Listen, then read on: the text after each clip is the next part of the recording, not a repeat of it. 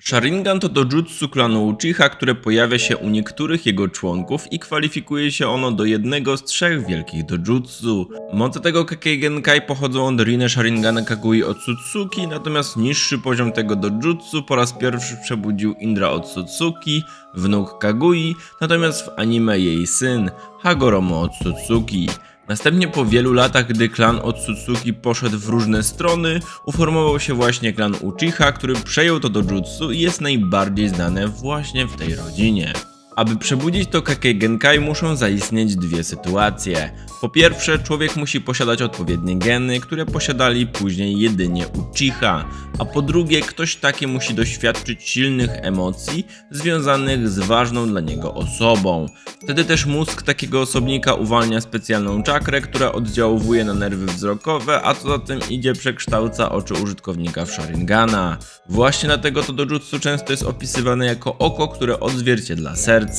Te emocje niestety często były wywołane klątwą nienawiści, która była mocno zakorzeniona w klanie Uchiha, a więc zazwyczaj przebudzali oni Sharingana negatywnymi emocjami, takimi jak smutek, strata bliskiego, zazdrość czy stres. Jednakże dojutsu to nie wymaga, aby były to emocje negatywne. Równie dobrze mogą być one wywołane miłością czy chęcią ochrony kogoś, co pokazał zresztą Obito, gdy przebudził swojego Sharingana, chcąc ochronić Kakashiego. Zaraz po zdobyciu tego dojutsu zazwyczaj tak naprawdę następuje częściowy spadek sprawności użytkownika, ponieważ nie jest on przyzwyczajony do nowych zdolności, przez co ciężej takiej osobie kontrolować swoją czakrę, czy też nadążyć za znacznie szybszym wzrokiem. Pierwszym etapem tego dojutsu jest Sharingan z jednym Tomoe, po którego przebudzeniu użytkownik od razu zyskuje wszystkie jego umiejętności, a także jeśli jest świadomy posiadania tych oczu, to może później dowolnie go aktywować i dezaktywować. Z podstawowych Sharinganów jest jeszcze ten z dwoma oraz trzema Tomoe. To co różni te trzy etapy to po prostu skuteczność w posługiwaniu się technikami wzrokowymi, bo mimo tego, że Sharingan z jednym Tomoe ma te same zdolności to ten z trzema, to zazwyczaj aby dojść do kolejnego etapu trzeba nabrać doświadczenia z obsługą tych oczu i po prostu samo przebudzenie zwiększa ich skuteczność. Istnieje także możliwość, aby ktoś spoza klanu Uchiha używał Sharingana, ale do tego musi sobie przeszczepić to oko, co wiąże się z konsekwencjami. Takie osoby nie są w stanie dezaktywować tego dojutsu, a także potrzebują oni dużo więcej czakry, aby kontrolować go. Z tego powodu chociażby Kakashi, który nie był członkiem Uchiha, zasłaniał swojego Sharingana, dzięki czemu oszczędzał czakrę. Również Madara Uchiha stwierdził, że aby w pełni korzystać z mocy Sharingana, należy posiadać parę oczu. Zdolności tego dojutsu są dość szerokie, a pierwszą z nich jest możliwość dostrzegania czakry poprzez nadanie jej koloru i choć nie jest to poziom tak wysoki jak ten Byakugana, to użytkownik Sharingana może również widzieć przez niektóre przeszkody, wykrywać jakieś anomalie w przepływie czakry, jak chociażby genjutsu. Kolejną zdolnością jest zwiększenie percepcji do tego stopnia, że posiadacz tego dojutsu jest zdolny do czytania z ruchu warg, czy nawet naśladowania tak drobnych ruchów jak pisanie ołówkiem, co pozwoliło Sasuke ściągać na egzaminie. Dzięki temu doświadczony osobnik jest w stanie w pewnym stopniu przewidywać ruchy przeciwnika, jako że jest w stanie dostrzec każde napięcie mięśni, najdrobniejsze szczegóły, które mogą wskazywać na to, że przeciwnik będzie chciał wykonać jakiś cios. Działa to także na jutsu, ponieważ o ile przeciwnik nie ma zasłoniętych rąk, to nie ma znaczenia jak szybko wykonuje pieczęci, Sharingan będzie widział każdą. Oczywiście samo przewidywanie ruchów to jedno, a to czy ktoś z tym dojutsu będzie w stanie uniknąć ataku to już inna kwestia. Trzecią zdolnością, jedną z lepszych, choć rzadko używanych jest kopiowanie jutsu. Tyczy się to prawie każdego jego typu, zarówno ninjutsu, genjutsu, jak i taijutsu. Chociażby Kakashi w walce z Zabuzą skopiował jego ninjutsu, a z kolei Sasuke skopiował niektóre ruchy Roka Lee i przerobił na swój styl.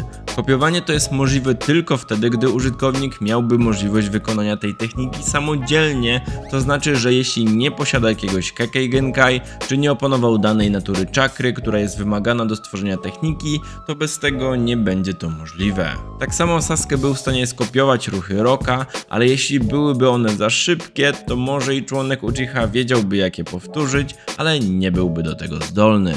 Ostatnią zdolnością jest Genjutsu Sharingan. Tu temat jest bardziej skomplikowany, bo może to służyć różnym celom, ale najczęściej używane było do sugerowania myśli czy działania jakiemuś celowi, a nawet wydobywaniu z takich osób informacji. Można by to w skrócie nazwać taką manipulacją. Gdy właściciel takiego dojutsu jest naprawdę silny, to może z pomocą Sharingana kontrolować nawet ogoniaste bestie, czy to biegające sobie samopas, czy też poprzez Jinchuriki.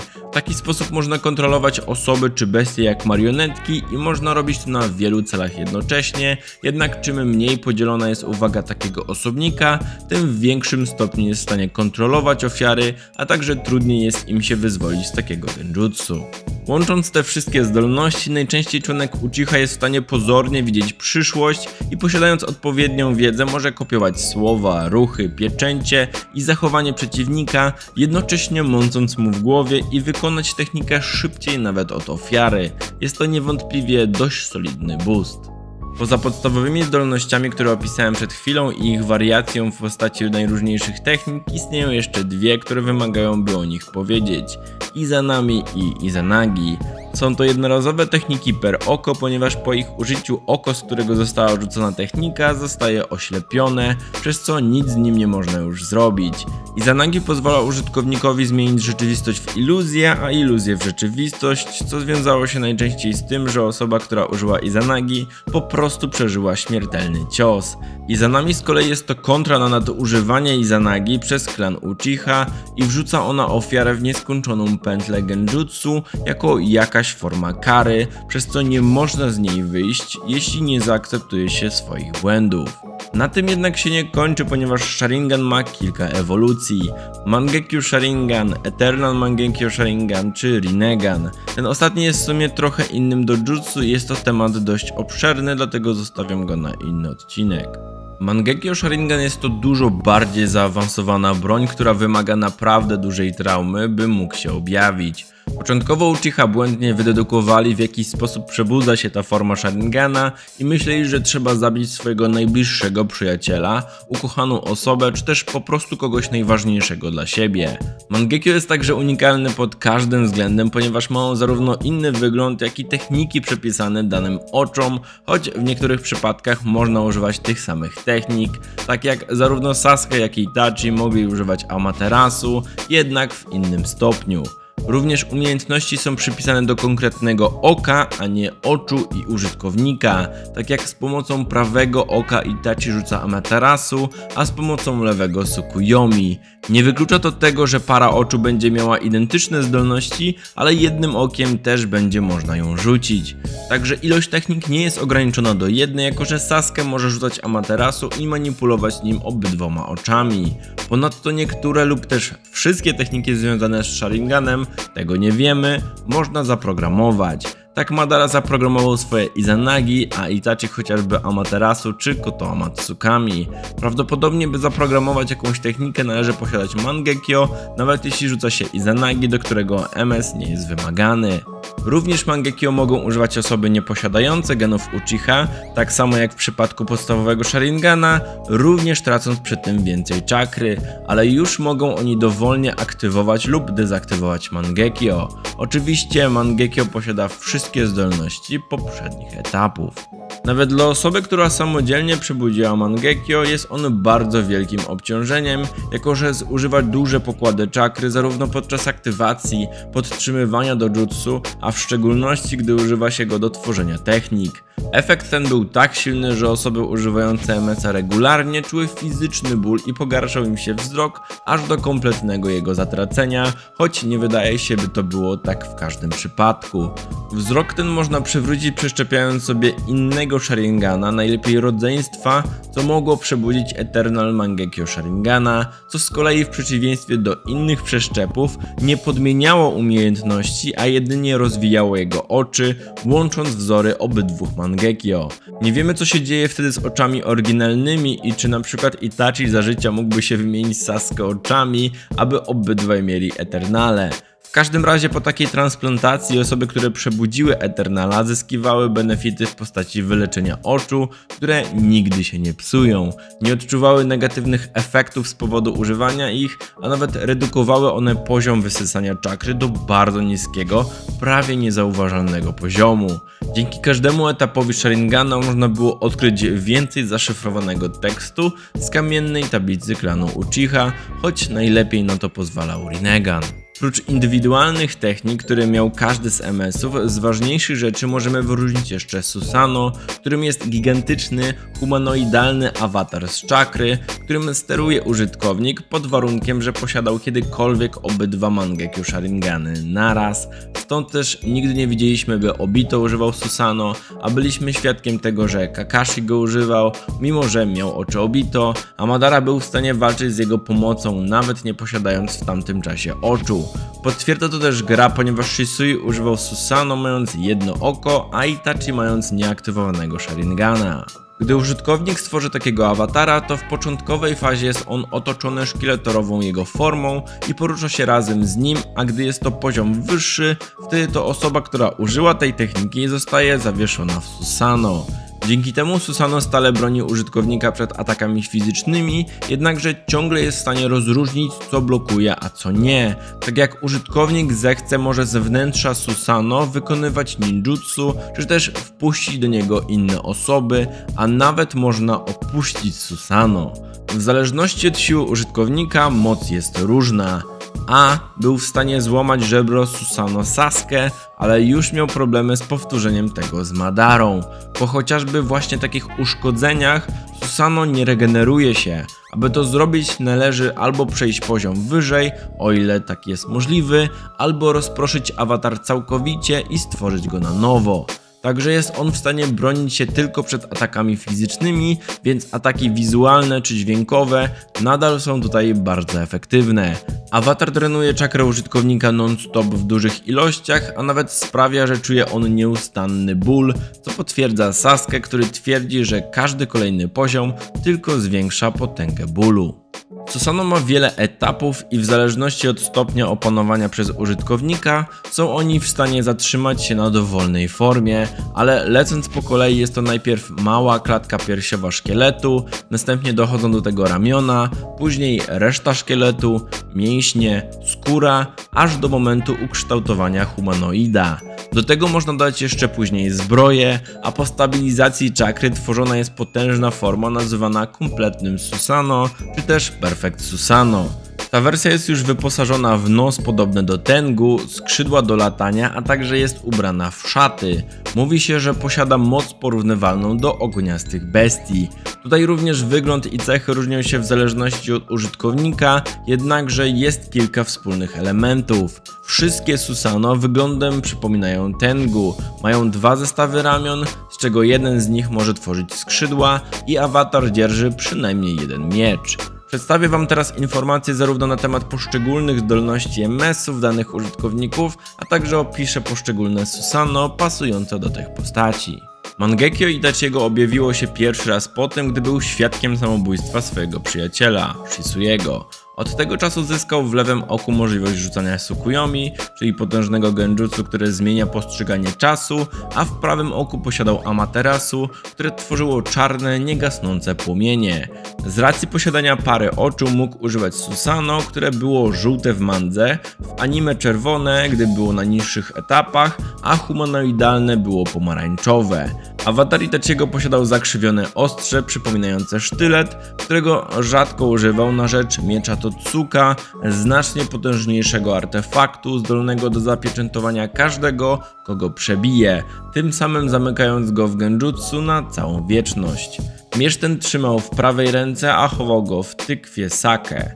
W lewej ręce natomiast Susano trzymało lustro Yata, czyli tarczę, która zmienia swoją naturę w zależności od tego, jaki atak na siebie przyjmuje, tym samym niwelując go całkowicie. Na daleki dystans używał Yasaka Magatamy, a Perfect Susano Itachiego zostało pokazane tylko i wyłącznie w grze. Sasuke obudził swojego Mangekyo, gdy był świadkiem śmierci swojego brata, a następnie dowiedział się prawdy o jego przeszłości. Obydwoma oczami może rzucać amaterasu, a także gasić je i kształtować, czego nie potrafił jego brat. Jego Susano było na początku niebieskie w mandze, ale wszędzie indziej jest fioletowe. Awatar Sasuke jest dużo ciemniejszy niż ten Itachiego, jest bardziej demoniczny, ma rogi i też złowrogi uśmiech, dlatego że po prostu Sasuke kierował się nienawiścią. Susano Sasuke wyróżnia to, że posiada ono łuk, który także jest w stanie pełnić funkcję tarczy i może mieszać czakrę z innymi źródłami, tak jak używał czakry z transformacji mędrca Jugo, dzięki czemu stworzył Senjutsu Susano a później także potężnie zwiększył jego możliwości, przechowując czakrę dziewięciu ogoniastych bestii w swoim awatarze. Także gdy posiadał Rinegana mógł zablokować światło nieskończonego Sukuyomi za pomocą swych skrzydeł, dzięki czemu ocalił kilka osób przed działaniem tego genjutsu. Mangekyo Shisuyego przebudziło się po tym, gdy pozwolił umrzeć swojemu przyjacielowi i rywalowi.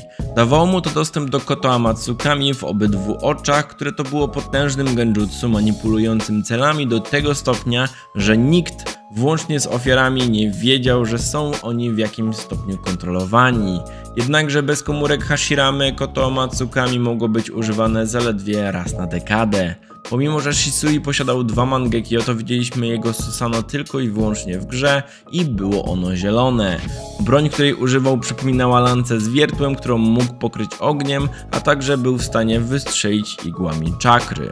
Obito i Kakashi przebudzili Mangekyo w tym samym czasie, a konkretnie po śmierci Rin. Zarówno prawe oko Obito, jak i lewe oko Kakashiego posiadały tę samą zdolność, czyli Kamui, choć działały one nieco inaczej. Prawe oko Obito wykorzystywało ninjutsu czasoprzestrzenny na bliski dystans, teleportując tym samym siebie, innych czy jakieś obiekty, natomiast lewe oko Kakashiego używało Kamui na daleki dystans, tworząc przy tym barierę, a także było zdolne do przeniesienia samego siebie do wymiaru Kamui i z powrotem. Obito na krótki czas miał dwa Mangekyo, jednak nie pokazał swojego Susano, natomiast zrobił to Kakashi, który również na krótki czas miał parę oczu i jego Susano miało jasno-niebieski kolor. Awatar ten dzierżył katanę, ale jego największym atutem były Kamui Shurikeny, które potrafiły w kontakcie z ofiarą przenieść jej część do innego wymiaru. Madara Uchiha był pierwszym z tego klanu, który obudził Mangekyo. Według Itachiego Madara i Izuna przebudzili Mangekyo zabijając kogoś bliskiego, jednak nie wiemy czy nie kłamał. Niestety również nie wiadomo jakie posiadał unikalne zdolności, jednakże w jednej z cutscenek z gry jest on w stanie cofnąć czas na kilka sekund. Nie wiemy czy to zabieg artystyczny, aby pokazać, że to przewidział, ale być może to jego umiejętność. Jego awatar był ciemno-niebieski i dzierżył falujące ostrze przypominające Chris, a w anime miał cztery miecze, które zostawiały po sobie niebieskie ślady podobne do ognia. W kompletnym Susano jego awatar używał do walki katany. Było to największe Susano z rodziny Uchichów, a także mógł z jego pomocą rzucać Yasaka Magatamy. Izuna obudził swojego Mangekyo niedługo potem, gdy zrobił to Madara, jednakże o jego oczach nie wiemy zupełnie nic. Nie zademonstrował także Susano. Ostatnim członkiem klanu Uchiha, który pokazał swojego Mangekyo jest Fugaku, jednakże ukazał się on tylko w anime. Przebudził go, gdy doświadczył poświęcenia swojego najbliższego przyjaciela podczas III światowej wojny Shinobi. Sam stwierdził, że był wystarczająco potężny, by z pomocą tych oczu kontrolować dziewięcioogoniastego. Jego awatara także nie widzieliśmy. Indra Otsutsuki był pierwszym użytkownikiem MS-a. Anime przebudził go po tym, gdy zabił swoich dwóch zwolenników i lewym okiem używał Hinokagu Tsuchi, które do bólu przypominało Amaterasu. Zresztą jego Susano także było prawie nieodróżnialne od tego Sasuke, więc moim zdaniem odgrzewany kotlet. I ostatnim dziś opisywanym posiadaczem Mangekyo był Hagoromo Otsutsuki, o którym także niewiele można powiedzieć, bo nawet nie znamy wzoru jego oka, jako że od razu w tym samym czasie przebudził Rinegana. Jego awatar także był jasno-niebieski i był wielkości 10-ogoniastego. Poza tym wszystkim istnieją jeszcze różne ciekawostki dotyczące Sharingana i Susano, a więc najciekawsze wam teraz przedstawię. Kishimoto stwierdził, że gdyby użytkownik Sharingana i użytkownik Byakugana by spłodzili dziecko, miałoby ono po jednym dojutsu na oko. Sharingan jest widoczny w ciemności. anime dwie ze stu marionetek Sasoriego są widoczne z Sharinganem. Początkowo Itachi używał technik dostępnych dla Mangekyo bez posiadania go aktywnego. Stało się to dlatego, że Kishimoto nie ujawnił w mandze wyglądu jego Mangekyo. Obito jako jedyny z Uchihów wydawał się nie mieć żadnych negatywnych efektów z powodu używania Mangekyo przez wiele lat. Sasuke jako jedyny ma odwróconą kolorystykę w Mangekyo, w którym ma czerwony wzór i czarne tęczówki. W mandze wzór MSA Indry to Wir, jednak później w anime ma on identyczny wzór jak Sasuke. W 214 odcinku Naruto Shippuden Sasuke manifestuje swoje Susanoo, które wygląda identycznie jak to Itachiego, a nawet ma tam miecz Totsuka i lustro Yata. Później jego wygląd został zmieniony tak by pasował do mangi.